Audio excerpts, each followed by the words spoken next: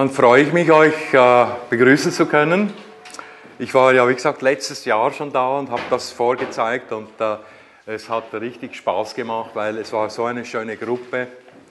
Also ich bin aus dem Waldviertel, also aus dem Gebirge. Wir haben 700 Meter Höhe. Also nicht wirklich. Äh, ich komme aus der Schweiz ursprünglich, aber schon 20 Jahre jetzt in Österreich. Und und es tut manchmal gut, wenn, wenn sich Leute, die ein bisschen ähnlich sind, äh, Permakultur ist ja jetzt nicht gerade das, wo man sagen kann, äh, das macht die breite Masse nicht. Das wird oft viel belächelt, vor allem von den Industriellen, die natürlich Monokulturen haben möchten und so weiter. Und genauso wird das, was ich mache, belächelt und wurde immer belächelt. Und eigentlich äh, habe ich jetzt die letzten drei Jahre, wäre ich schon fähig gewesen, nur mit Wasserstoff, mit selbst hergestelltem Wasserstoff zu heizen. Und ich habe es nicht gemacht. Warum? Weil immer wieder von einem super gescheiten, studierten Uni-Professor oder so eine, ein Einwand kam, warum denn mit Strom ein Gas erzeugen und dann mit dem Gas heizen? Da sind ja Verluste überall, das kann ja nicht funktionieren. Und äh, warum nicht mit Strom direkt heizen? Das ist ja viel besser, haben die behauptet. Ohne diese Zelle, meine Arbeit überhaupt je gesehen zu haben. So wird das gemacht, nicht? Äh, ich bin aber Gott sei Dank nicht ganz allein unterwegs. Also äh, ich kann sagen, der Andi Daniel, der da äh, Film aufgebaut hat, der hat mich schon seit äh, also die letzten fünf Jahre wahrscheinlich begleitet, filmisch und dann immer wieder dokumentiert. Dann habe ich im Zuge von, von vielen Leuten, die ich kennengelernt habe, dann auch plötzlich sind einmal bei mir zwei Uni-Professoren von der BOKU in Wien bei mir vorbeigeschaut. Der eine hat sich vorgestellt, ich bin vom, vom, äh, vom, von der Abteilung für Sicherheitstechnik und Energiewesen. Ich habe gerade einen Schock gekriegt im ersten Moment, Sicherheit, und habe gedacht, ja, was wollen die? Und das waren dann aber ganz nette Leute, es hat sich ein wunderschöner Kontakt ergeben. Äh, das Ende war dann von dem Besuch, dass ich bei denen in Wien einen Kurs machen musste für acht Uni-Leute, die wollten unbedingt so eine Zelle haben, bauen, damit sie das Gas, dieses Wasserstoffgas näher erforschen können. Die wollten dann voll einsteigen und das erforschen und die haben auch schon begonnen. Und zwar haben sie Unterschiede herausgefunden zwischen dem Gas, was wir da erzeugen, und einfachem H2, was man aus der Flasche kauft von einem großindustriellen Gashersteller.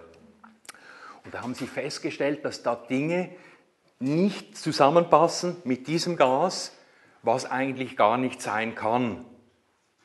Und äh, das hat sehr gut angefangen. Und dann ist, wie gesagt, dieser Professor, der denen vorgestanden hat, in Pension gegangen. Jetzt haben wir ja gerade gehört vom Andi, wie das passiert ist, unter Druck. Und es gibt kein Geld mehr, um das zu erforschen. Man macht nicht weiter. Also diese Leute machen zwar noch weiter, aber halt im Kleinen. Und, aber wir haben einen schönen Kontakt. Und ich muss sagen, ich habe in der Zeit, es sind jetzt sieben Jahre, sieben, fast acht Jahre, wo ich mit dem angefangen habe, äh, ich habe viele nette, tolle Leute kennengelernt. Äh, ich habe Physiker kennengelernt, äh, alles Mögliche und hochgescheite Köpfe. Und die haben mich auch besucht. Keiner von denen hat je gelacht. Lachen tun nur die Halbgebildeten, die glauben, sie wüssten einfach alles. Und jetzt einmal äh, zu diesem Gerät. Also mit diesem Gerät kann man Wasser spalten, ganz einfach.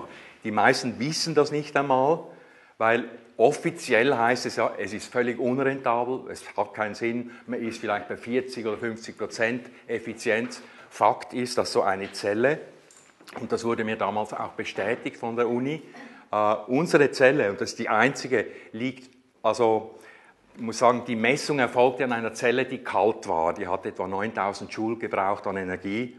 Und äh, wenn sie warm ist, braucht sie dann nur noch 7000 oder, oder 7500.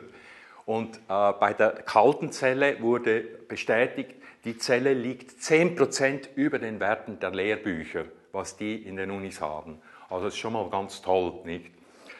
Ja, und äh, ich habe auch eigentlich, äh, ich habe eigentlich einen guten Weg gehabt, weil ich habe nie groß hinausgeschrien in die Welt und Behauptungen aufgestellt. Ich habe nie gesagt, das ist freie Energie. Ich habe nur gesagt, Leute, äh, Diese Erfindung ist fast 200 Jahre alt. Der Faraday hat 1832 schon Versuche gemacht mit Spalten von Wasser. Warum wissen wir von dem nichts? Es ist scheinbar an uns vorbeigegangen, nicht? Dass es so eine Möglichkeit gibt. Und jetzt schaut euch das einmal an. Was ist das, was wir da haben? Wir haben einen Stoff, Wasser. Der wird zerlegt in seine Bestandteile, in seine atomaren Bestandteile, Wasserstoff und Sauerstoff.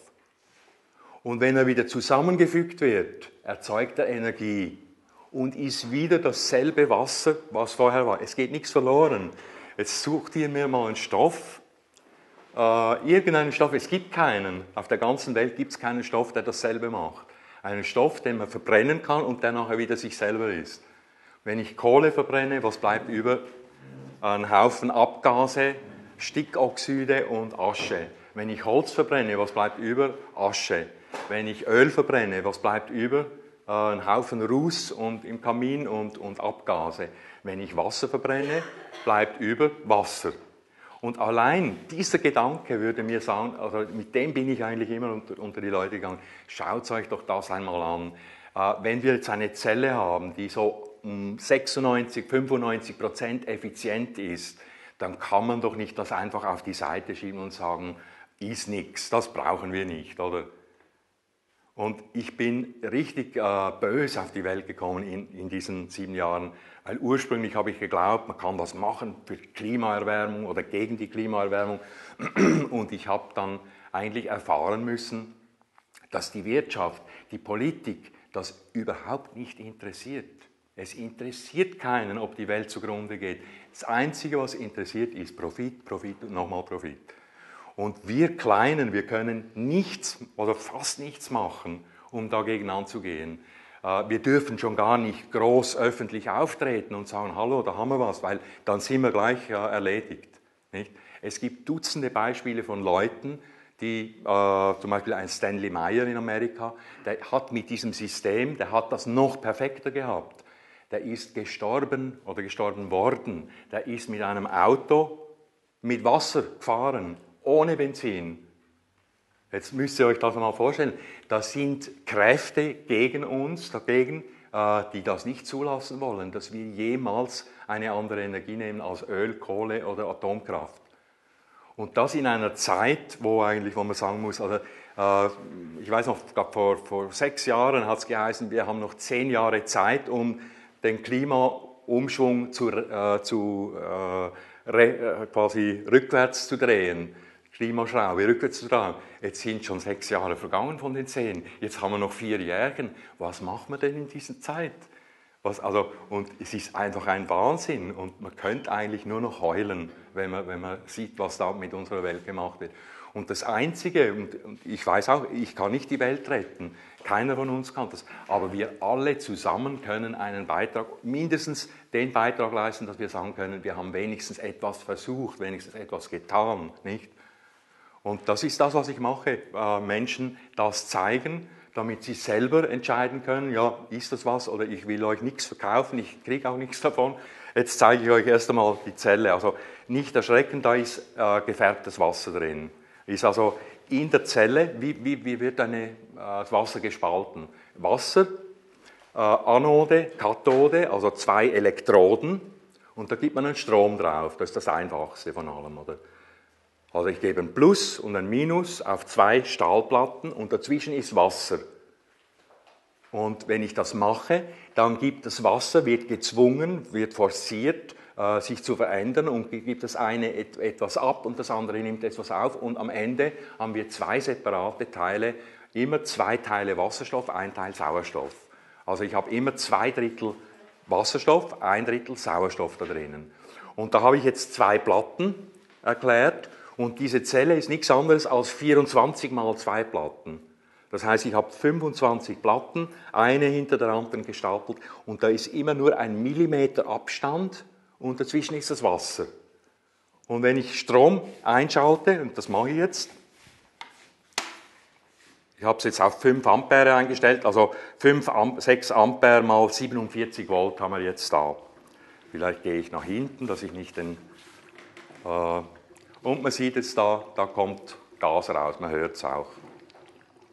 Und wenn ich das Feuerzeug nehme, dann habe ich eine Flamme. Wenn wir jetzt da mal sagen wir auf 12 Ampere raufgehen, da seht ihr, wie das ordentlich sprudelt. Also ich schalte ein und sofort geht's los. Jetzt habe ich eine schöne Flamme. Ihr seht die Flamme eigentlich nur vielleicht bis daher, aber in Wirklichkeit ist sie so, wenn ich da oben, da verbrenne ich mich. Ich kann da nicht mehr hin. Der Witz, die Flamme, die hat ganz verrückte Eigenschaften. Äh, sie ist an und für sich nicht so heiß, ich kann so durchfahren, aber wenn sie auf etwas trifft, auf eine Materie, dann wird es irre heiß, bis 3800 Grad, unter Umständen bis 6000 Grad. Das können wir nicht mehr sagen. 3600 Grad ist sicher, weil Wolfram löst sich auf. Und Wolfram hat etwa bei, liegt etwa bei 3400 Grad. Es könnte also sein, äh, wir sind aber nicht sicher, es kann sein, dass der Wolfram eben nicht, der schmilzt nicht, sondern der wird einfach weniger. Jetzt ist es möglich, dass der Wolfram verdunstet, sich auflöst, verdampft. Und die Verdampfungstemperatur von Wolfram wäre um die 6000 Grad. Wo haben wir ein, ein Ding, was so etwas kann? Ich kann damit äh, Stahlplatten durchschweißen. Ich kann Kupfer zum Beispiel löten, Kupfer, Messing. Ich brauche keine teuren Flaschen von der Firma kaufen. Ich habe das alles frei Haus. Für relativ wenig Aufwand. Was haben wir jetzt da? 12 äh, Ampere mal 51 Volt. Und jetzt, wenn ihr seht, wenn ihr das beobachtet, am Anfang, jetzt ist die Zelle noch kalt, da braucht sie relativ viel Spannung. Je wärmer die wird, desto mehr kommt die Spannung runter. Das heißt, ich brauche immer weniger.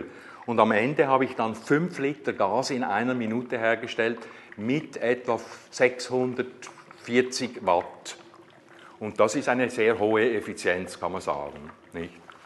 Und jetzt möchte ich euch einmal zeigen, was da passiert. Nehmen wir mal zuerst so ein, ein Stückchen Schamott. Das Schamotte habe ich geschnitten. Diese Schamotte war in einem Rohr und da bin ich mit der Flamme in dieses Rohr rein, auf diese Schamotte. Und man sieht, es ist ein etwa drei bis vier Zentimeter tiefes Loch in der Schamotte. Also wenn ich jetzt da mit der Flamme auf die Schamotte gehe, die wird gerade glühend. Nicht? Da haben wir jetzt sicher 700 Grad da schon. Schon mal 700 Grad. Aus dem Stand. Und jetzt schaut mal, was passiert, wenn ich jetzt ganz nah hingehe. Und zwar, ich mache das jetzt so, ich gehe so nah hin, äh, wir haben ja gesagt, das Wasser wird durch die Flamme wieder zusammengefügt, wird wieder Wasser, also zuerst einmal Wasserdampf. Jetzt kommt da Wasserdampf an.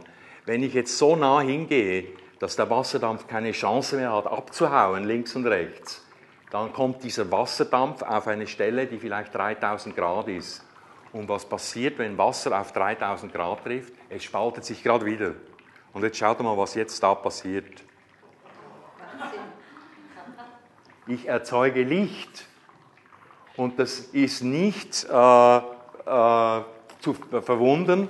Dieses Licht hat dasselbe Spektrum wie die Sonne, wie das Sonnenlicht, weil letztlich auf der Sonne eigentlich die ähnlichen Prozesse ablaufen wie hier äh, aus diesem Wasserstoffgas. Was haben wir auf der Sonne? Wasserstoff, Helium, äh, wird Helium umgewandelt. Also ist das nicht verrückt? Man könnte mit der Flamme auch Edelsteine erzeugen. Weil derselbe Prozess, was äh, im Vulkan abläuft, äh, machen auch gewisse Leute. Es ist mir schon mal gelungen, aus Siliziumkarbid ein absolut perfektes, rundes Kügelchen, äh, ich weiß nicht, was das für ein Edelstein war, absolut durchsichtig, absolut klar, winzig klein. Irgendwann habe ich es dann verloren. Aber äh, was man da alles macht, ist unglaublich. Und auch da, wenn ich da, also da drauf gehe, sofort fängt das an zu leuchten. Nicht? Ja, die Leute haben immer Angst vor Gas, nicht? Und ich kann euch sagen, wenn ihr ein Stadtgas habt, Anschluss, dann könnt ihr auch Angst haben, weil ich glaube 60 Prozent aller äh, Stadtgasanschlüsse sind marode. Da gibt es Leitungen in einer Stadt, die sind undicht und äh, da kann aus einer Kanalisation mal Gas austreten und einer geht mit der Zigarette um durch und wumm. Und es, man hört es auch immer wieder, dass Häuser in die Luft fliegen. Nicht? Ich glaube, Gas ist immer dann gefährlich, wenn wir riesige Mengen haben. In Fukushima, wo die Kernschmelze war, Da ist automatisch kommt es zur Erzeugung von Knallgas. Nicht? Aber dann in einer Halle, die, äh, ich weiß nicht, von hier bis äh, 100 Meter weit geht, riesige Halle, riesige Knallgasansammlung. Und wenn da ein Fünkchen losgeht und das hochgeht, dann gute Nacht, oder? Was haben wir hier? Wir haben prall gefüllte äh, Zelle mit Wasser. Nur da oben ist äh, ein Dreieck, wo Gas ist. Das geht über dieses Schläuchlein in den Behälter, den ersten Behälter, den Vorratsbehälter. Da ist Wasser drinnen auch nur. Äh, jetzt äh, steigt dann da durchs Wasser das Gas auf. Jetzt habe ich hier das Gas. Wäre jetzt irgendwie ein Problem an der Zelle, sagen wir einen Kurzschluss, das kann es aber praktisch nicht geben, dann äh, kann dieses Gas sich nicht entzünden, weil da ist ja Wasser dazwischen, nicht? Wäre jetzt andererseits von daher irgendein Funke, dann, haben wir, dann kann nur dieses Gas hochgehen. Und wenn jetzt, äh, was haben wir da drinnen? 200 Milliliter Gas. Wenn 200 Milliliter Gas hochgehen, wisst ihr, was dann passiert? Dann macht es einen lauten Duscher, dass man glaubt, man hört fast nicht mehr, aber das war's. Es passiert nichts, gar nichts. Vielleicht fliegt auch der Behälter auseinander und man muss nachher äh, äh, Wasser auf dem Boden aufwischen. Aber passiert nichts, nichts Gefährliches, was, was schlimm ist. Und jetzt haben wir aber nicht nur diese Behälter da, sondern wir haben auch da noch einen sogenannten Arrestor. Äh, der hat ja jetzt gemacht, dass als ich die Flamme ausgeblasen habe, äh, ist, ist der Funke da hängen geblieben. Das ist ein ganz fein, äh, fein gesponnenes, äh, man nennt das äh, äh, Sinter, Sintermetall, also gesinterte Kügelchen von Metall, von Edelmetall, äh, was so feine Poren hat, dass da kein, kein Blitz, kein, äh, keine Flamme mehr durchgeht. Der hat es aufgehalten. Und weil ich ja doppelt sicher unterwegs sein will, habe ich noch einen zweiten Teil da. Das ist ein zweiter Arrestor. Jetzt habe ich zwei Sicherheitsstufen plus die, äh, den sogenannten Bubbler, wie man das nennt. Also was kann da passieren? Äh, wenn man vernünftig mit diesen Dingen umgeht, kann eigentlich nichts passieren. Nicht? Wir können da schon einen Ballon aufsteigen lassen aus dem Fenster. Das stört niemanden.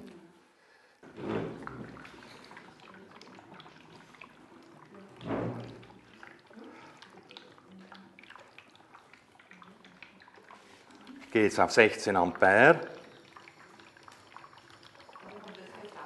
Wie? Da. Was, warum Gas rauskommt? Ja, wieso keine Flamme jetzt rauskommt. Weil ich sie nicht angezündet habe. Okay. Also man kann mit diesem Gas schweißen und natürlich kann man auch heizen. Es, es, gibt nur keine Geräte dafür. Es gibt Gasthermen, die kann man nicht verwenden für dieses Gas. Äh, man müsste das alles neu bauen, aber es ist viel weniger kompliziert als, äh, sagen wir, äh, irgend so eine Gastherme. Es braucht nicht so viel Aufbau. Und ich habe das, ich zeige euch das jetzt als nächstes dann. Das ist das Einfachste vom Einfachen, äh, wo ich sagen kann, ich habe das Heizen auf die einfachsten Nenner runtergebrochen. Und das könnte in jedem Entwicklungsland passieren, wenn, wenn man will. Äh, also jetzt haben wir ihn schon. Ja. So, schalte ich mal ab. Ich hoffe jetzt, dass der schon groß genug ist, dass er fliegt. Also jetzt habe ich Wasser in den Ballon gefüllt, nicht? Ist euch das klar? Einen Ballon mit Wasser befüllt. So.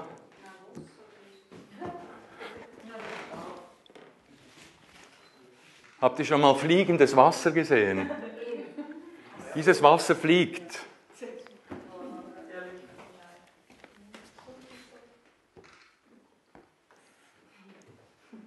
Da darf ich jetzt aber nicht mit dem Feuerzeug hin, weil das gäbe dann ein lautes Geräusch. Jetzt, wenn ihr wollt, dann macht einmal das Fenster auf und wir Hauch, weil wenn er da oben an der Decke ist, kriegen wir ihn nicht mehr runter, das ist zu hoch. Lasst man steigen, hä? weil es ja immer heißt, äh, warum mit, nicht mit Strom direkt heizen. Also jetzt muss ich zuerst einmal dieses Argument entkräften. Und jetzt müsst ihr euch nicht vorstellen, dass ich irgendwas zu sagen hätte in der Welt. wenn ich was sage, ist das nichts. Das muss ein Professor sagen, nicht der. Wenn der sagt, so ist es, dann ist es so. Oder? Aber nichtsdestotrotz, ich bin ein Mensch und ich habe die Erfahrung gemacht, wenn ich etwas ganz sicher weiß, hundertprozentig sicher weiß, weil ich es hundertmal durchprobiert habe, dass wenn ich dann von diesen Dingen spreche, dass das ganz anders bei den Menschen ankommt. Es geht nicht immer um Beweise, es geht nicht immer darum, dass man Recht hat, sondern es geht darum, ob man sich seiner Sache sicher ist. Äh, wäre ich jetzt eine Biene, hätte ich es wesentlich leichter, weil die Bienen haben ein ganz einfaches Reglement. Wenn eine Biene Futter gefunden hat, Nektar gefunden hat, dann kommt sie zurück zum Stock und führt einen wilden Tanz auf. Und sie erlaubt sich aber nicht, sie hat Scham, sie erlaubt sich nicht, einen wilden Tanz aufzuführen, wenn sie nur wenig Nektar gefunden hat. Wenn sie viel gefunden hat, also je nachdem, welche Biene wie verrückt tanzt, der folgen dann alle anderen, nicht? Also wäre ich eine Biene, dann müsste ich eigentlich nur tanzen und dann wäre die Sache gelaufen. Bin ich aber nicht. Also jetzt muss ich einfach das sicher sein, dass das, was ich sage, nicht blöd ist und dass ich vor allem, es geht mir ja nicht darum, anderen was zu beweisen, andere von etwas zu überzeugen. Es geht mir darum, dass ich selber nicht in die Irre gehe. Weil wenn so Argumente kommen, dann muss man sich fragen. Und ich meine, wir Menschen oder viele Menschen sind so, dass sie sich das zu Herzen nehmen und sagen, oh Gott. Also habe ich drei Jahre ausprobiert, mit Strom zu heizen. Was meint ihr, was passiert ist? Strom, Stromrechnung ist durch die Decke geschossen.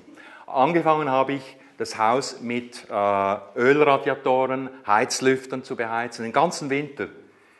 Stromrechnung durch die Decke durch. Dann habe ich Gott sei Dank Photovoltaikpanelen bei mir aufs Dach gemacht. Die haben etwa 3.500, 3,5 äh, äh, Kilowatt, äh, 3500 Watt Leistung. Und dann habe ich in einem Jahr 4000 Kilowattstunden selber Strom erzeugt. Ich bin jetzt offiziell Stromerzeuger, aber nur minimal halt. Also das ist nichts, was ich da liefere. Für mich reicht es nicht. Und ab da konnte ich mir sagen, okay, jetzt mache ich den Versuch, ich hau den Strom, den ich erzeuge im Sommer zum Fenster raus und mache ein weiteres Jahr Heizen mit Strom, damit ich es auch ganz sicher weiß.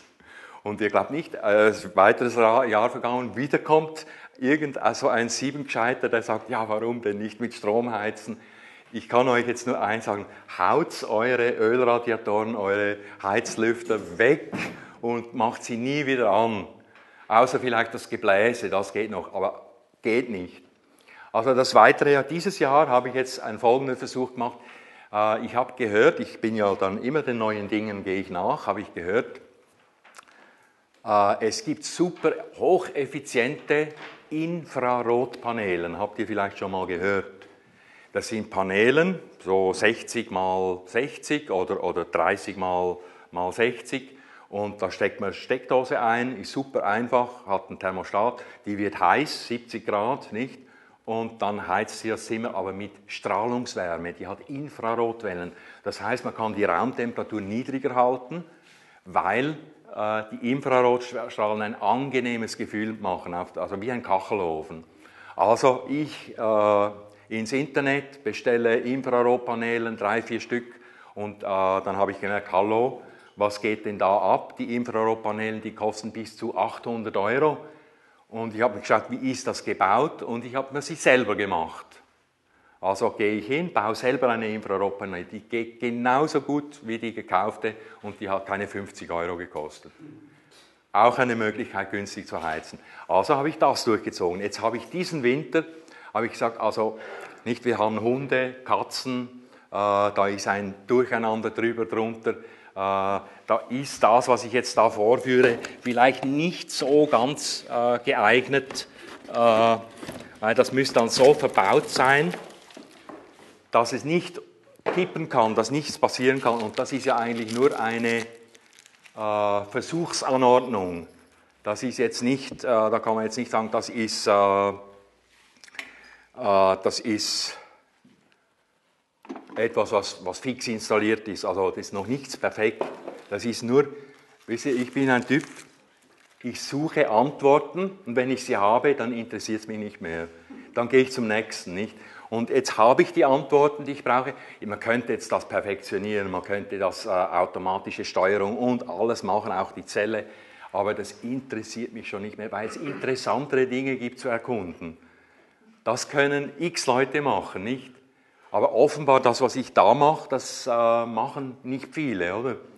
Und äh, also habe ich mir gesagt, meinen Büroraum, 20 Quadratmeter, den will ich nur mit Wasserstoff heizen. Jetzt habe ich mir da, das habe ich seine eigene Entwicklung, ein Rohr und ich bin auch kein Freund von Aluminium, weil Aluminium braucht irre viel Energie in der Erzeugung und äh, ist auch nicht gesund. Aber ihr müsst halt verstehen, wenn man sowas macht, muss man schauen, man hat kein Budget, ich habe keine Millionen zum Forschungsgelder. Ich muss mit dem knappsten äh, auskommen. Also habe ich mir äh, ein Aluminiumrohr besorgt. Und das Lustige ist, wenn ich das rund habe, dann kostet es 13,70 Euro. Wenn ich es eckig habe, kostet es 1,30 Frag mich, warum ist das so ein Unterschied? Das gleich große Rohr, rund ist 1370, äh, eckig ist 1,30. Also habe ich mal ein eckiges besorgt, das ist billiger. Ja? Es schaut noch nicht schön aus, aber äh, es muss ja nur funktionieren und für den Test reichen. Jetzt stellt ihr vor, dieses Rohr, da unten ist der Gasanschluss, nicht? Dieses Rohr ist jetzt von unten bis oben komplett mit Sand gefüllt, nicht? Und jetzt, was passiert jetzt? Machen wir einen Versuch. Jetzt steigt der, äh, der Gas steigt im Sand auf, weil der Sand drinnen ist. Und jetzt gehe ich mit der Lampe, das ist jetzt auch händisch. Jetzt nicht erschrecken, es kann ein bisschen äh, knistern. Aber ich mache das jetzt noch händisch, aber gedacht wäre es eigentlich, dass man da drinnen dann eine Heizspirale hätte, elektrisch natürlich. Und diese Heizspirale, da drückt man auf den Knopf. Äh, wichtig ist, dass dieser Sand da oben 60 Grad erreicht. Oh, jetzt hat es geknackt, ja. Das macht es jetzt halt, ja. Dann, so. Jetzt hätte, da, ist jetzt schon, da kommt jetzt das Gas hoch. Nicht? Und bis das so richtig heiß ist, kann es jetzt noch äh, ein bisschen so knacksen. So. Es wird aber immer weniger. Und ich kann mit der Lampe immer prüfen, ob noch ein Gas unverbrannt rauskommt oder nicht. Und jetzt kann ich da schon nicht mehr anfassen, da kann ich noch anfassen.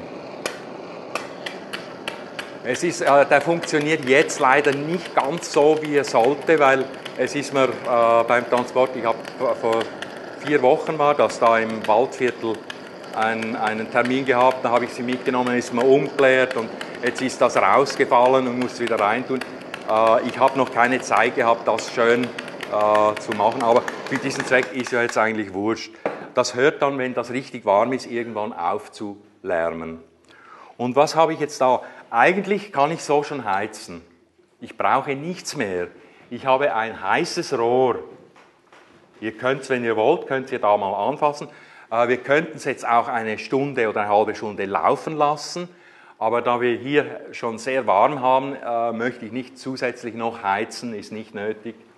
Aber da brennen und ihr könnt da mit der Hand oben rauf. Das dauert jetzt natürlich eine halbe Stunde, bis das ganze Rohr bis unten hin heiß ist. Schaut mal, schaut das Glas an. Äh, es ist noch keine Leistung. Was sind 3 Ampere? 120 Watt. Jetzt seht ihr schon, das fängt sich innen dann an zu beschlagen. Es ist schwierig. Äh, es ist wirklich kaum eine, aber ihr seht schon. Ja, da sieht man, dass da oben Wasserdampf rauskommt. Äh, eigentlich funktioniert das nur mit Sand, ohne irgendwas dazu. Einfach Sand rein, da muss ich das aber oben anzünden und dann habe ich oben eine Flamme, die brennt. Was ich jetzt hier gemacht habe, ist ein Trick. Die oberste Schicht ist sogenannter platinierter Sand. Äh, ich kann ganz einfach mit Sachen, die ich aus der Apotheke kriege, Sand platinieren. Und zwar gebe ich ein Stückchen Blattplatin in äh, Königswasser. Nicht? Wisst ihr, was Königswasser ist? Äh, Salzsäure und äh, Salpetersäure gemischt. Damit prüft man, ob Gold echt ist. Da, weil wenn Gold nicht echt ist, dann bleibt, äh, bleibt etwas hängen bei der Probe. Und wenn ich jetzt dieses Königswasser nehme und ich gebe Blattplatin rein und ich erwärme das, dann löst sich das Platin auf, wird flüssig und ich gieße das über den Sand. Und dann ist mein ganzer Sand, jedes einzelne Sandkorn, mit einer drei bis vier atomstarken Schicht Platin überzogen. Und diese Schicht macht, dass äh, das Gas wieder zusammengefügt wird. Kostet 3, 4 Euro, mehr nicht. Wenn ich das machen ließe, würde ich Hunderte zahlen, oder? Also wenn ich, Aber das Gas verbrennt ja, wenn da oben die Flamme drauf halten, oder? das Gas verbrennt da oben, ja, aber ohne Flamme. Es ist keine Flamme da im Spiel. Es brennt und brennt und brennt. Ich habe diese Heizung, jetzt äh, wohne ich ja im Waldviertel und da sind die Häuser nicht so trocken wie sonst wo Wohnungen. Also wir, wir müssen schauen, dass wir nicht zu viel Feuchtigkeit kriegen. Äh, jetzt wollte ich nicht, weil da Wasserdampf rauskommt, ist allerdings sehr wenig, äh, wollte ich ja nicht noch mehr Wasserdampf, also äh, Feuchtigkeit ins Haus lassen. Also habe ich mir gesagt, okay, dieser Wasserdampf, den muss ich auffangen und habe mir so eine Glocke gebaut. Und im Prinzip ist das nichts anderes als ein größeres Rohr. Das hat 5 im Durchmesser, das hat 8. Und unten habe ich so U-Profile reingeleimt mit Hochtemperaturkleber, da ein Loch gebohrt. Jetzt kann dieses Wasser, was da aufsteigt, da oben rundherum kondensieren. Und wenn ich das dann da drauf stelle, so, und das kann ich dann fixieren, nicht? Ich kann dann die Heizung kleiner machen, größer machen, bis einen Meter kann ich sie ausfahren. Äh, dann tropft das durch dieses Löcher, Löchlein da ab. Und dieses Wasser, was da rauskommt, gebe ich dann wieder in die Zelle zurück. Ich brauche kein neues Wasser kaufen. Es ist dasselbe Wasser, was da verdunstet, was wieder in die Zelle zurückkommt. Und so, nein, nein, ist kein Perpetuum mobile. Das ist, äh, ich brauche ja Energie. Ich habe ja Energieaufwand. Und jetzt zur, äh, wer hat jetzt gefragt, äh, Wirkungsweise, ja. Was habe ich gebraucht? Jetzt äh, stellen wir es wieder ab. Ich habe den ganzen Winter 4000 Kilowattstunden Strom verbraucht für meine Infrarotpanelen. Also fünf Räume Infrarotpanelen, ein Raum äh, Gasheizung. Von diesen 4000, also mehr habe ich nicht gebraucht diesen Winter. Zusätzlich habe ich noch drei Festmeter Buchenholz verbrannt. Jetzt habe ich eingangs gesagt, ich habe 4000 Kilowattstunden Strom selber erzeugt. 3000 Kilowattstunden von diesem Strom habe ich selber verbraucht, also nicht eingespeist und wieder zurückgekriegt, sondern selber gleich vor Ort verbraucht. Das heißt, ich muss von den 4000 Kilowattstunden Strom eigentlich nur 1000 Kilowattstunden Strom rechnen, was ich gebraucht habe zum Heizen. Das sind 230 Euro plus äh, die 240 Euro fürs Holz, für drei Festmeter Holz, macht äh, 400, äh, was 230, 470 Euro. Normalerweise, wenn ich mit Holz heize, dann kostet mich ein Winter 1000 Euro, 1200, je nachdem. Das ist so, es ist noch günstig. Hätte ich eine Ölheizung, dann würde es 2000 kosten. Eine Gasheizung würde auch viel kosten. Pellets würde auch viel kosten. Da bin ich jetzt den dritten Winter, trotz der, Versuche mit Strom, auf 470 Euro unten. Und dabei ist der meiste Strom verbraucht worden für die Infrarotpanelen. Die hat jetzt, äh, um euch das vorstellen zu können, das ist jetzt wirklich der Hammer. Wenn wir von Effizienzen und von äh, Wirkungsweise reden, es kann sich ja niemand was vorstellen, gescheit. Was sind äh, 30 Kilowatt? Was sind äh, 100 Kilowattstunden? Was ist das? Also, jetzt sage ich euch etwas. Ein Kilogramm Buchenholz hat einen Energiewert von 4,2 Kilowattstunden an Energie, Heizenergie. Ein Kilogramm Buchenholz, 4,2 Kilowattstunden.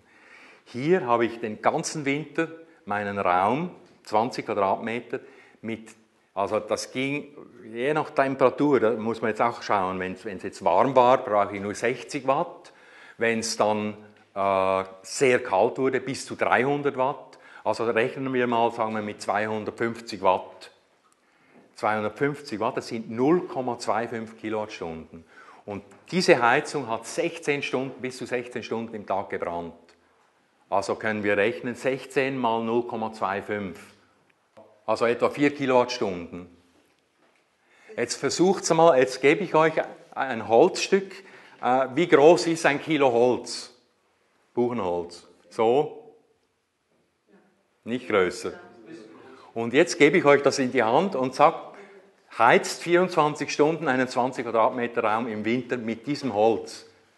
Und jetzt macht es da, jetzt dämmert es, oder? Ihr schafft das nicht. Selbst wenn der ganze Rauch im Raum bliebe, ihr schafft es nicht, mit einem Kilo Holz einen Raum so zu heizen. Nicht?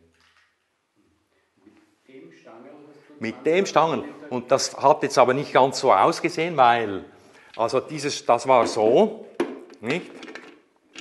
Und dann habe ich bemerkt, hallo, also nach einer halben Stunde ist da unten so heiß, dass man nicht mehr anfassen konnte. Jetzt, was habe ich gemacht? Äh, ich habe da noch zwei Bleche parallel jeweils, die waren 30 mal 7 mal 30, also 210 Quadratzentimeter, mal 4, 840 äh, Quadratzentimeter zusätzliche Fläche. Und jetzt kann ich sagen, die Gesamtfläche von dem Aufbau war etwa so groß wie ein 60 mal 60 Zentimeter äh, Radiator. Nicht? Und damit kann ich heizen. Nicht? Also das hat sich schon ein Winter lang erprobt. Jeden Tag 16, 10 bis 16 Stunden gelaufen, ohne Probleme, ohne irgendwas. Diese Zelle ist sieben Monaten, Monate jeden Tag 10 bis 16 Stunden gelaufen. Ich habe sie noch nicht gereinigt. Äh, man sieht jetzt da vielleicht da unten, aber das ist alles, äh, nicht da kriegen wir jetzt auch Langzeitwerte raus. Wie verhält sich sowas? Und äh, wie ich gesagt habe, ich bin kein Freund unbedingt von Aluminium. Das war von Anfang an eigentlich mein Sinnen, Keramik. Sowas aus Keramik, aber das ist schweineteuer, wenn man kein Töpfer ist. Und jetzt haben wir da in unserer Gruppe einen Töpfer und schaut mal, das ist gestern gekommen, das hat er mir gestern gemacht. Der hat jetzt schon so eine Röhre gebaut und er hat noch diese Paneelen, die ich seitlich habe, hat er das äh, so als Rohr angebracht. Äh, 50 cm hoch. Keramik, schaut gut aus. Also für Künstler, es gibt, es gibt auch da, warum macht man jetzt das Rohr halbrund? Ich kann Engelsflügel drauf machen. Ich kann eine Sonne drauf picken. Oder ich kann drauf sagen, ihr könnt zu uns alle mal, ich kann alles machen. Kreativ sind mir keine Grenzen gesetzt, nicht? Wasser ist H2O. Und wir sagen eigentlich, im übertragenen sagen, wir sagen, äh, wir, haben, wir erzeugen HHO-Gas. HHO-Gas, also H2O. Und jetzt ist eben der Punkt der, ihr wisst, an einer Uni, es wird nur das erforscht, wofür es Geld gibt. Und wer gibt Geld? Die Industrie. Also wird nur ganz begrenzt werden die, wird die Welt erforscht. Jetzt ist zum Beispiel, äh, man setzt einfach immer dieses HHO, was wir da haben, mit H2 gleich aus der Flasche. Und da haben schon die Wissenschaftler aufgehorcht und haben gesagt, hallo, äh, etwas kann da nicht stimmen mit unseren Werten, äh, die wir in den Lehrbüchern haben, stimmt einfach nicht überein. Äh, das Gas ist anders, definitiv. Und äh, es wird immer noch darüber gestritten, äh, wir, die gehen einfach davon aus, es gibt nur H2, weil H sich sofort wieder zu H2 verbinden würde.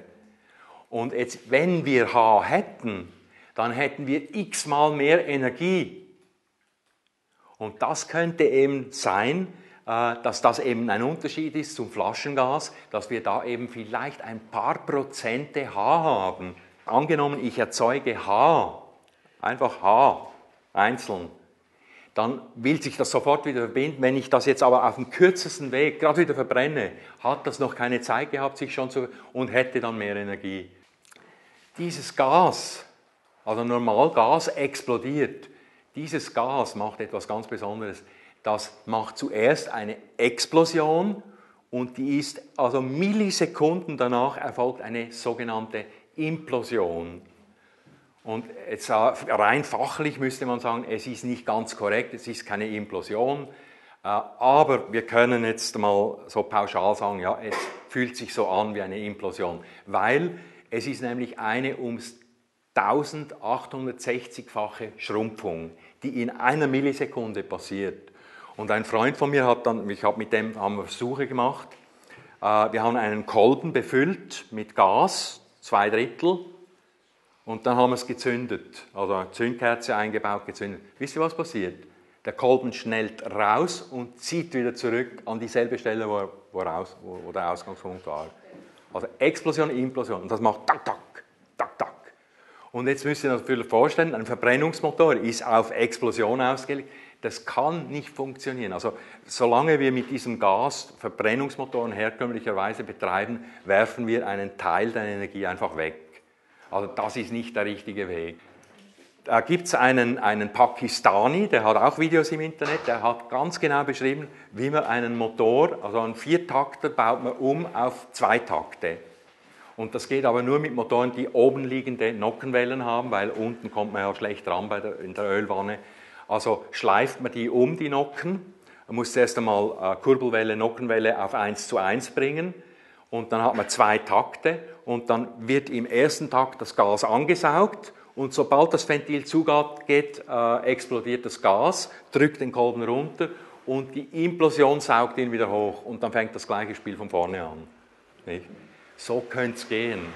Ja, und jetzt muss ich euch fragen, habt ihr jemals von einem gewissen Daniel Dingel gehört? Ist das ein Begriff, dieser Name? Das ist ein Filipino, ein Mann auf den Philippinen.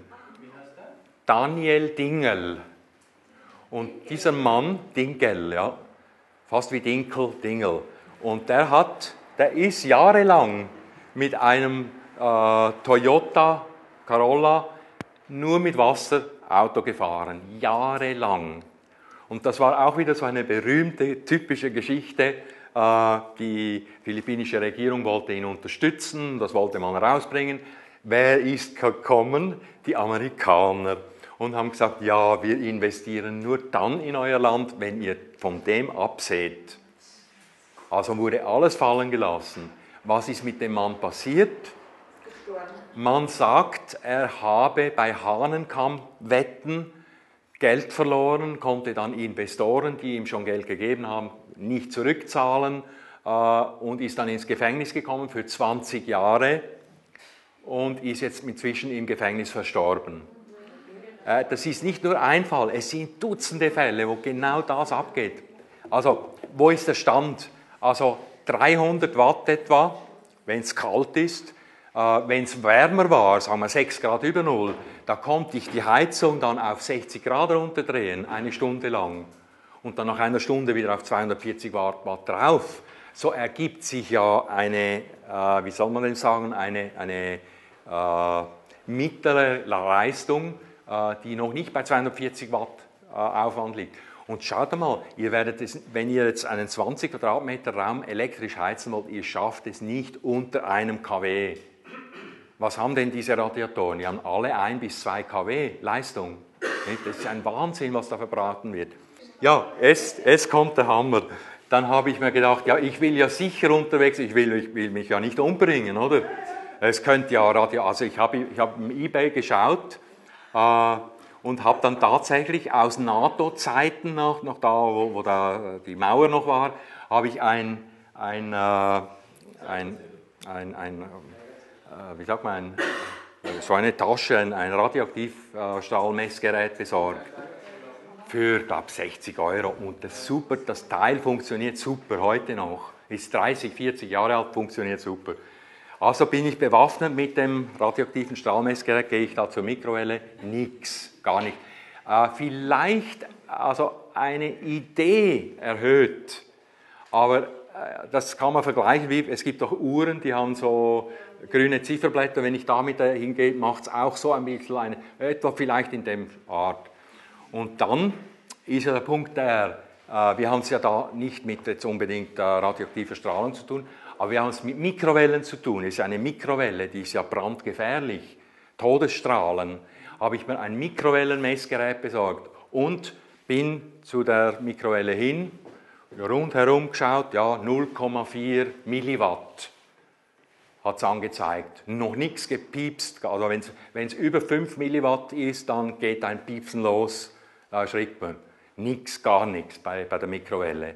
Und dann habe ich mir gedacht, ja hallo, äh, haben nicht die Handy auch, äh, man hat doch schon so Videos gesehen, wo sie Eier oder Popcorn machen mit drei, vier Handys und ist das ein Fake oder ist es ja also gehe ich mit rufe ich mein, mich mit dem Handy an gehe mit dem mit dem Mikrowellenmessgerät zum Handy und piepst die ganze Zeit, hört nicht mehr auf. Über 20 Milliwatt. Und das habe ich an meinem Ohr jeden Tag, zehnmal. Wie viel hat die Mikrowelle? Hat? Äh, die Mikrowelle hat, äh, wie viel Watt? Äh, 900 Watt. Nein, wie viel? Ähm, 0,4. 0,4. Wenn es zu ist, ja. Aber es geht ja nur im Betrieb, wenn die Türe zu ist. Es ist ja Sicherheitsvorrichtung. Handy 20 Milliwatt. Und da habe ich gesagt, mein Gott, vor 20 Jahren haben wir gehört, dass das gefährlich sei. Wir haben es vergessen, wir haben es ignoriert. Wir benutzen jeden Tag das Handy, haben es am Ohr. Und dann äh, kommt die Mutter meiner Frau zu Besuch und sagt, ja, aber sie hat, sie hat Ohrhörer drin da. Habe ich gesagt, Gott, schauen wir gerade mal schnell. Äh, bin ich mit dem Mikrowellenmessgerät an die Ohrhörer gegangen, die sie ja im Ohr hat. Und es war noch viel schlimmer. Und der Witz ist der, also es nützt, wenn ihr Ohrhörer benutzt, könnt es vergessen, bringt nichts. Weil äh, das Handy habt ihr wenigstens auf dem Ohr drauf. Die Ohrhörer die gehen aber noch zwei Zentimeter ins Ohr rein, ist also noch tiefer im Kopf drinnen. Das heißt, euer Hirn wird bis zur Hälfte äh, mit Mikrowellenstrahlen gekocht. Also wenn Handy telefonieren, auf den Tisch legen, auf Lautsprecher schalten und einen Meter davon Abstand halten. Dann ist es gefahrlos. Nicht, äh, nur, dass ihr seht, also ich bin im Prinzip viel gefährlicher unterwegs, wenn ich die Technik, die mir heute angeboten wird, verwende, als wenn ich Versuche mache. Nicht? Also verwendet, tut es euch einen Gefallen, verwendet die Handys so selten wie möglich und vielleicht nur zum SMSen da habt ihr es ja auch in der Hand, aber nicht, gebt das nicht an euer Ohr. Ich sehe einfach, seit ich mit Wasserstoff unterwegs bin, wir werden von hinten bis vorne jeden Tag nur verarscht. Seien es Politiker, seien es äh, alle. Man sagt ja, wie ich das eingangs schon erwähnt habe, man, man sagt ja dieser Flamme Qualitäten nach, dass sie sogar Radioaktivität vernichten könne und äh, unter Umständen auch Stoffe transmutieren könne. Das ist ein Stückchen Kalk. Kalk, äh, wenn, wenn, man ihn zwei Jahre aufbewahrt, dann gibt es so Klumpen drin, oder? Ist normalerweise ein Pulver. Jetzt ist, ist es ein festes Stückchen, nicht? Jetzt schalten wir das nochmal ein, aber nicht. Ja, okay. So. Dann So. Jetzt schaut, was passiert.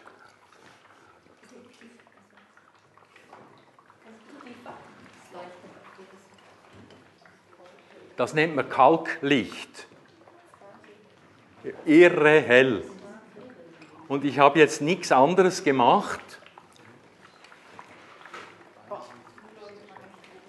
Nichts anderes. Und der Witz ist, äh, dieser Kalk, der bleibt so, wie er ist, der verbrennt nicht, da kann nichts mehr passieren, der ist einfach Kalk. Ist nachher noch Kalk. Vielleicht ein bisschen bröseliger, aber ist Kalk. Jetzt habe ich nichts anderes gemacht, als äh, dreimal in einer Stunde äh, so ein Stückchen Kalk erwärmt. Und die Temperatur ist auch stabil geblieben. Und jetzt habe ich ausgerechnet, da brauche ich natürlich nur 300 Watt. Jetzt habe ich ausgerechnet, auf wie viel Wattstunden komme ich jetzt, wenn ich den Raum mit dem Kalklicht heize? Auf sage und schreibe 45 Wattstunden bin ich runtergekommen. Also ist der, das Kalklicht ist noch besser als die Sandheizung. Jetzt müsste man da was bauen, dass man quasi das, diesen Kalk in eine Röhre gibt und äh, nicht, das sieht jetzt aber aufwendiger. Jetzt habe ich eine Flamme, dann muss ich Flammenüberwachung bauen, äh, Kontrolle, Mechanismen, dass nichts passieren kann. Aber nur zum Sagen, theoretisch, es ist möglich, mit 45 Wattstunden ein Haus zu heizen, also äh, äh einen Raum zu heizen. Und was sind 45 Wattstunden? 0,045 Kilowattstunden. Das 10 Stunden, dann sind es 0,4 Kilowattstunden in einem Tag. 10 Stunden, wenn ich 10 Stunden heize. Es ist ja nichts. Ja. Ja, genau. Genau. Genau. Jetzt nehme ich die Flamme und das wollte ich euch eigentlich heute zeigen, aber wir haben kein Magnet. Äh, da etwas Kohlepulver rein, Kohlenstoff. Mit der Flamme zwei, dreimal aufheizen, abkühlen lassen und dann mit dem Magneten testen. Und was ist passiert? Voll magnetisch. Also auch diese Flamme, die Wasserstoffflamme, transmutiert Stoffe.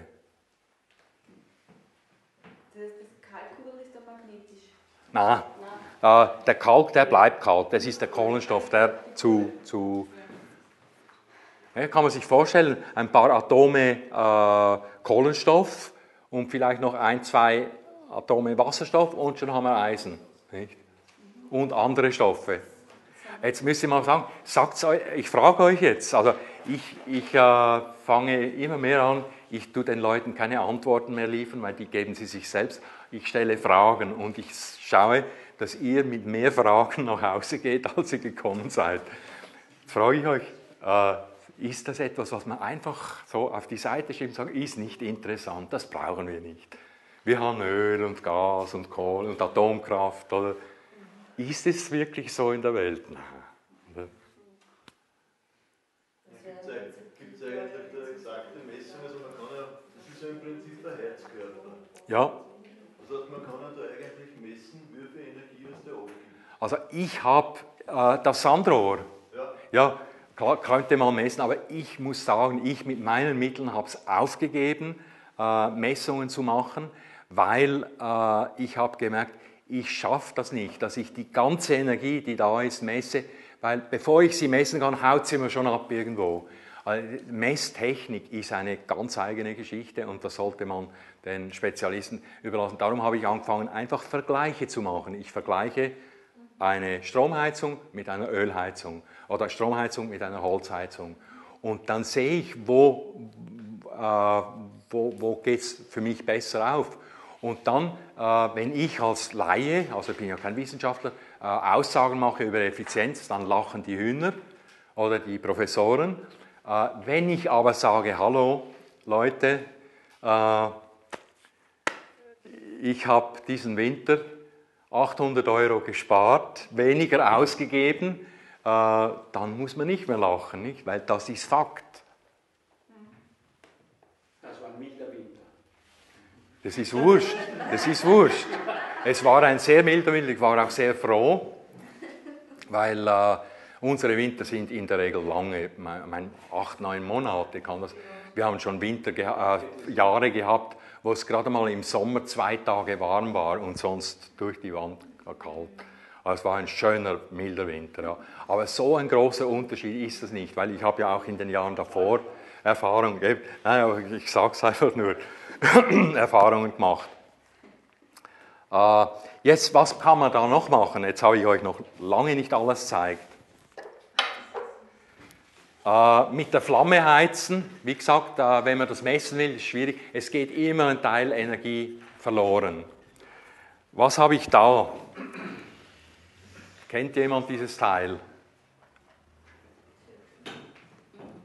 Das nennt man Katalysator. So was habt ihr in jedem Auto drin, in jedem Motorradl. Da ist nichts anderes als äh, Metall beschichtet mit Palladium oder Platin. Meistens lässt man heute das Platin weg, weil es zu teuer ist und nimmt Palladium dafür. Also dasselbe, was da in der Sandheizung ist, diese Entwicklung habe ich zuerst gemacht. Ich heize jetzt das nur kurz vor mit der Löt. Auch das muss etwa 60 Grad haben, bevor ich da das Gas drauf lasse. Und jetzt schaut euch das einmal an, was jetzt da passiert.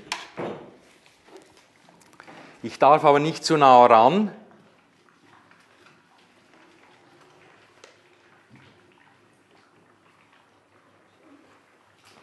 Also es wird schon glühend.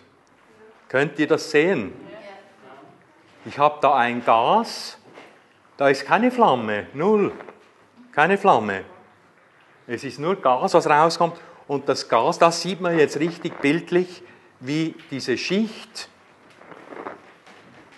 das Gas wieder zu Wasser zusammenfügt. Ohne Flamme. Woran siehst du, dass das ist Wasser? Wie? Woran sieht man, dass das ist Wasser wird. Ja, wenn ich da oben, wenn ich das so mache und ich habe da oben ein Glas mit Wasser, dann beschlägt sich das sofort. Und es gibt, es ist nicht anders möglich. Es muss Wasser sein, weil wenn äh, H und O wieder verbunden sind, ist Wasser oder Wasserdampf. Und das wird glühen, weil sich das verbindet. Ja, dadurch entsteht die Energie durch die, Verbi- äh, durch die Rekombinationsenergie. Und jetzt haben wir ja dann auch, nicht mehr kommt ja dann mit allen möglichen Leuten zusammen. Äh, und äh, da wird offenbar an, äh, unter Professoren, klammheimlich natürlich, tatsächlich diskutiert, es könnte sein, dass die Energie, die entsteht, wenn Wasserstoff und Sauerstoff rekombiniert wird, sogar höher ist als die Energie, die notwendig ist, um das Wasser zu spalten. Allen Ernstes wird das diskutiert, aber wir hören natürlich nichts davon, oder? Ja, wir müssten ja die Schulbücher umschreiben. Ja, ja, Sie müssen es erst in Wirtschaftszwecke gießen, bevor man das öffentlich wird. Ähm, habe ich es richtig verstanden? Das, ist, das Gas ist beides jetzt, das O und das H ist beides. In einem gemischt, ja. Ja. Und das Wasser, das verwendet wird, ist das, das muss destilliertes sein. das ist destilliertes Wasser und zwar deshalb, weil würde ich jetzt normales Wasser verwenden, Regenwasser auch, hat auch noch Stoffe drin, äh, dann würden die Stoffe bleiben immer drinnen und raus geht nur H und O. Das heißt, die Zelle würde mit der Zeit versalzen und immer mehr, aber also muss ich äh, destilliertes Wasser nehmen, oder? Mit diesem Keramikrohr wäre das ja auch viel praktischer, weil das hat ja dann noch Wärme, Strahlung. nicht nur Das hat. Das hat dann Infrarotstrahlung. Das, selbst wenn das ein paar hundert Grad hat, wo man Genau. Also ich, kann euch sagen, das ganze Rohr mit dem Oberteil hat 70 Grad abgestrahlt. Wunderbar im Winter. Das heißt, wenn ich ein destilliertes Wasser verwenden muss, muss ich die Energie, die ich aufwenden muss, um destilliertes Wasser zu kriegen, auch noch hinzuzählen. Nein, weil äh, ich kaufe das nur einmal und dann kippe ich es wieder in die Zelle rein. Ich muss ja das nicht dauernd nachkaufen. Ja, äh, das ist jetzt die Form äh, und das ist auch das, was ich immer bei den Leuten dann, dann anregen will. Das ist normale, man nennt das Brute, das kommt alles aus Amerika. Ihr müsst wissen, die Amerikaner sind uns da um 20 Jahre voraus gewesen, als ich angefangen habe. Heute sind wir schon ein Stück weiter in, in ihnen, also haben sie fast überholt sogar. Man nennt das Englisch Brute Force Electrolysis, also brutale Gewalt, also man treibt mit Strom äh, die, die, die Moleküle auseinander. Der Stanley Meyer, der hat äh, also quasi eine Elektrolyse betrieben in Resonanz. Und dieses Resonanz hört man heute immer wieder, immer mehr kommt das in die Ohren. Alles muss in Resonanz ablaufen. Und dann wird es besonders äh, effizient. Und der hat dann natürlich nicht so viel Leistung gebraucht wie ich. Der hat mit einer ganz minimalen Leistung hat er äh, einen Haufen Gas gemacht. Der Stanley Meyer ist nicht mehr da. Er kann es uns nicht mehr sagen. Wir müssen jetzt das noch einmal neu finden. Und es gibt einfach, äh, es gibt Leute, die suchen, aber zu wenig offenbar.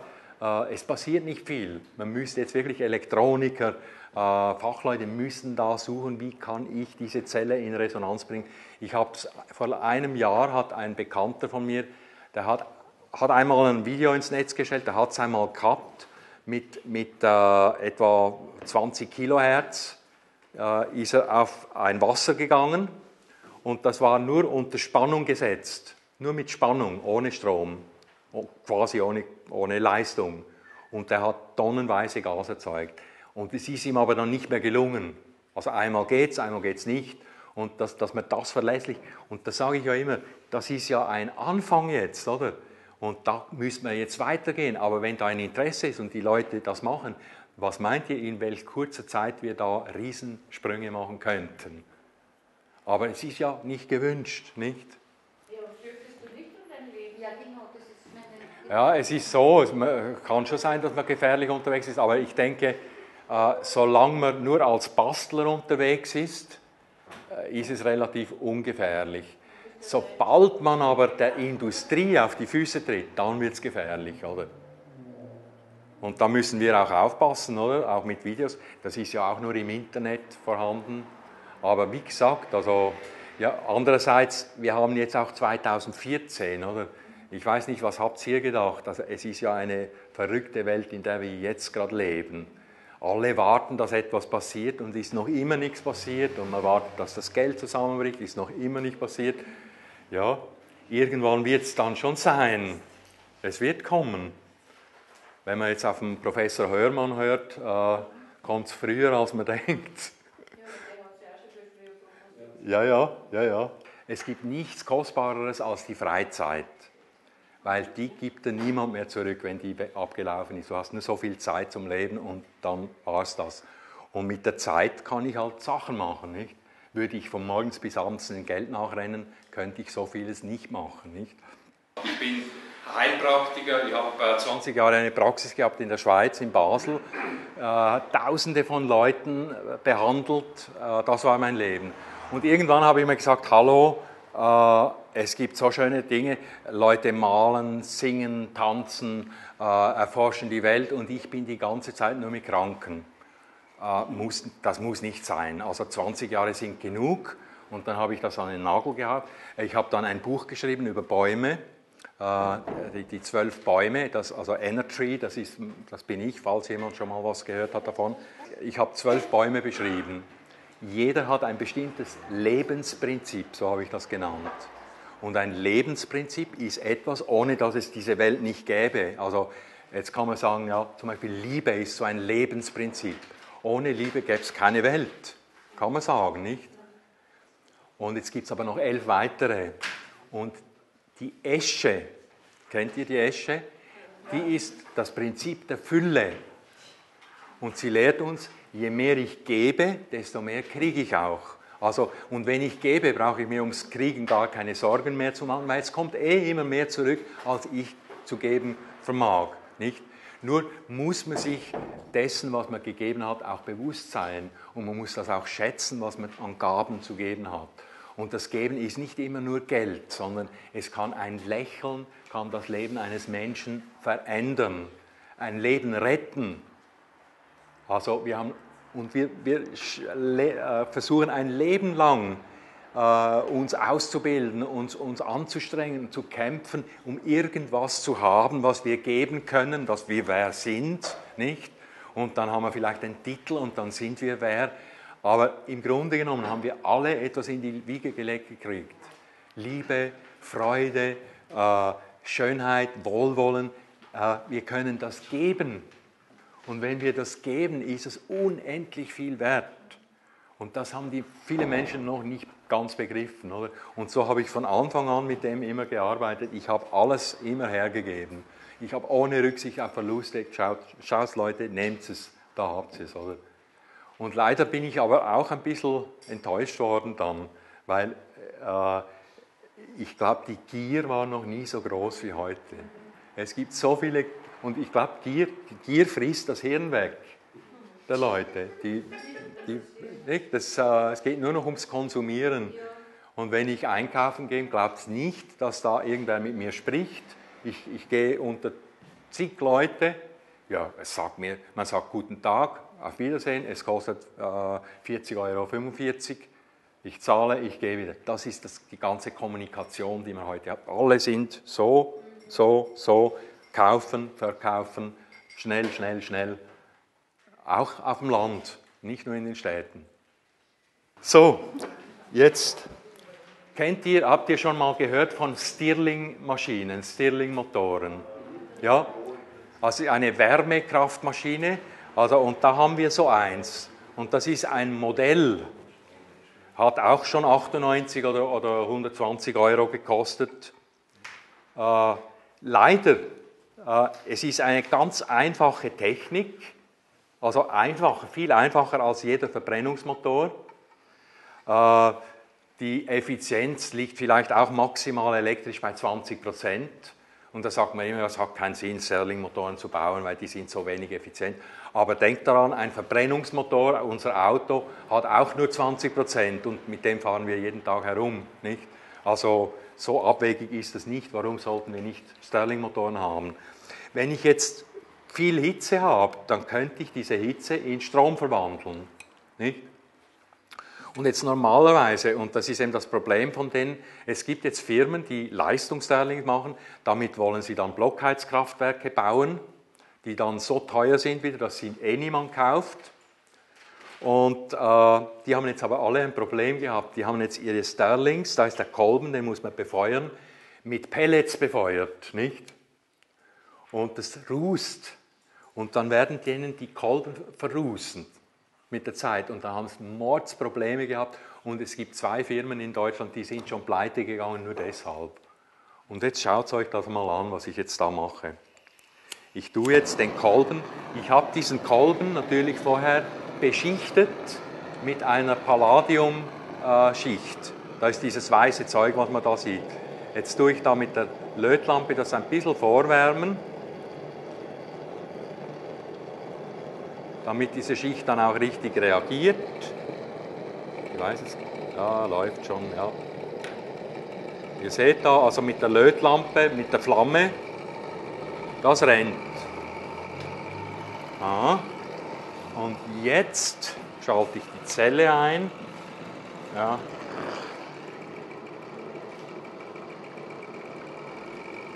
Ja.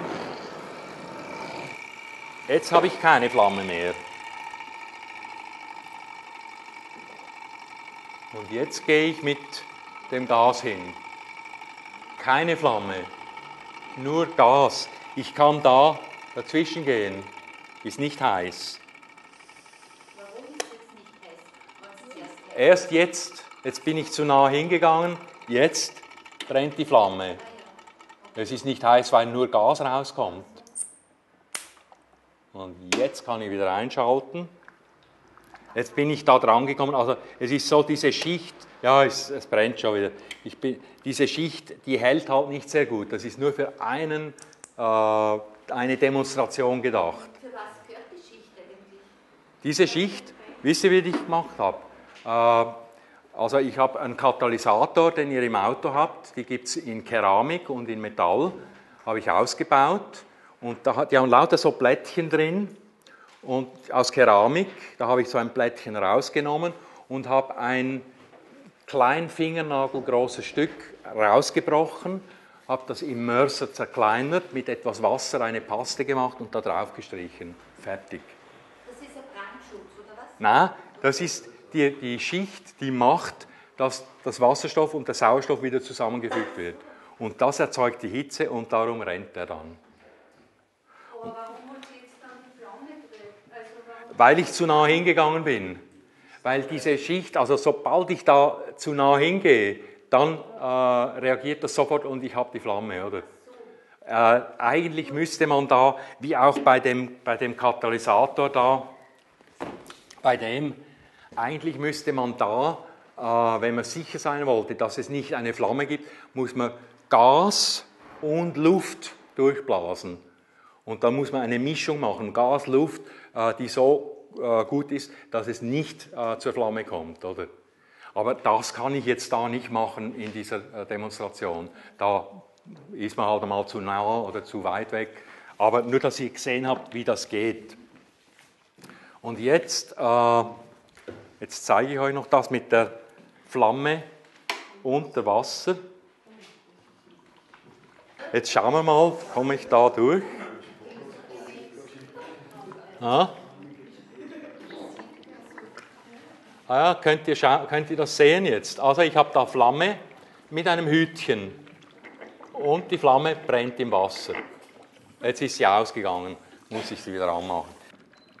Vielleicht ein bisschen weniger. Es kann sein, weil das eine kleine Düse ist, wenn das zu, zu stark bläst. Aber ihr seht, es, es brennt da im Wasser drinnen. Ja, es ist halt nicht das richtige Hütchen jetzt da. Ich habe sonst ein bisschen ein längeres Hütchen und ich habe jetzt die Düse auch nicht dicht einschrauben kann. Da kommt noch, ihr seht, wie das brennt, im Wasser. Jetzt habe ich Versuche gemacht. Gibt es irgendeine Flamme, die im Wasser brennt? Habt ihr noch nie gesehen? Ja, aber dann mit Leistung. Jetzt habe ich Versuche gemacht. Wie? Ja. Ich habe dann Versuche gemacht. Es ist schon warm geworden ein bisschen. Und zwar habe ich, äh, wenn ich jetzt einfach so mit der Flamme ins Wasser gehe, ja, dann wird es nicht so schnell warm. Aber weil ja eben die Flamme muss gegen etwas brennen, damit es äh, volle Leistung kriegt. Und jetzt habe ich Versuche gemacht. Äh, ich habe ein, äh, das nennt sich ein, äh, Aluminiumnitrid, eine Platte reingegeben, die tut äh, fast noch besser als Aluminium Wärme wegleiten. Und habe mit der Flamme so gegen das gebrannt und ich habe eine 90-prozentige Effizienz in der Wassererwärmung erreicht. Also das Wasser hat sich mit 90 Prozent, also es sind eigentlich äh, 90-prozentige Effizienz in der Erwärmung vom Wasser, das heißt in Bezug auf die aufgewendete Energie. Also das kann man ganz einfach machen. Äh, man nennt das kalorimetrischen Test. Ich schaue, wie viel Energie brauche ich für die Flamme und wie viel erhalte ich. Wenn ich jetzt ein Liter Wasser habe und der erwärmt sich um ein Grad, äh, dann brauche ich 4,19, also man kann rechnen 4,2, das machen die Techniker, 4,2 Kalorien und das dann mal 1000, weil es sind ja 1000 Milliliter oder 1000 Gramm und dann habe ich die Joule-Menge von der Energie, die ich erhalte, oder? Und äh, das kann man dann gegeneinander setzen. Also, und das war bei 90 Prozent. Und dann habe ich denselben Versuch mit einem elektrischen Tauchsieder gemacht und ich war bei 86 Prozent. Und jetzt kommt aber noch etwas dazu, und das ist der Hammer. Das habe ich an der Uni in Wien auch demonstriert. Äh, ich habe dann etwas Stahlwolle in dieses Wasser gegeben und habe gegen die Stahlwolle gebrannt. Und was meint ihr, was passiert da? Es fangen haufenweise Blasen hochsteigen. Und jetzt könnte man denken, ja, das ist Wasserdampf oder Luft oder so. Nein, es ist noch einmal Gas. Also habe ich mit 90%iger Effizienz äh, Wasser erwärmt, plus noch ein Gas erzeugt, noch extra. Und wo sind wir da, wenn wir dann das ausrechnen, wenn ich da nur äh, 100 Milliliter Gas noch zusätzlich erzeuge äh, zu der Erwärmung, die ich schon habe, dann gute Nacht. Darf ich gar nicht mehr laut sagen, das wird dann heikel. Nicht? Weil, äh, eins muss man sagen, so eine Zelle, und das ist das mein, mein, große, äh, mein großer Ärger eigentlich, äh, das Rohmaterial, einfach das Material für so eine Zelle kostet um die 300 Euro. Also Zelle mit dem, mit dem, mit allen Schläuchen, mit allem drum und dran. Aber ihr kriegt das nicht für 300 Euro zu kaufen. Jetzt gibt es sehr schlaue Leute, die bei mir einen Kurs gemacht haben. Äh, ich mache jetzt eigentlich so wie keine Kurse mehr, aber machen jetzt andere überall. Und die haben jetzt da ein super Geschäft aufgezogen. Die verlangen für so eine Zelle 700 bis 900 Euro. Und wenn man jetzt bei denen einen Kurs besucht, dann zahlt man 1600 Euro, wenn man Zelle und Kurs machen will. Und das ist einfach eine Frechheit, nicht? Und äh, darum habe ich gesagt, ich habe es da, ich habe keine Lust mehr, viel zu machen. Es soll doch vernünftig sein und äh, ich meine, finde, dass das irgendwie so die Haltung, die du hast, da ziemlich gut ist. Weil dadurch, dass da so wenig äh, Stolz oder ich weiß nicht, wie ich sagen soll, dahinter ist, hast du eine Energie frei, um immer wieder neue klar, zu machen. Klar, Und Mich geht es auch nicht. Wenn es Ja. umgekehrt wäre, dann, Ja, dann hättest du auch die Energie dort, wo das Geld hinkommt und dann würde sich das nicht ergeben. tun wir doch nicht die Energie verlieren da hinein. Ich habe jetzt auch äh, wieder Gedanken, äh, auch wieder gedacht, was ist jetzt, wenn wir freie Energie haben? Sind die Menschen jetzt reif dafür? Und was passiert, wenn jeder so viel Energie verbrauchen kann, wie er will? Es kostet nichts. Das ist die Frage. Aber soll man jetzt nichts mehr tun, weil man, weil man es nicht weiß? Machen nur wir. Man muss einfach seinem, seinem Stern folgen und leben, oder?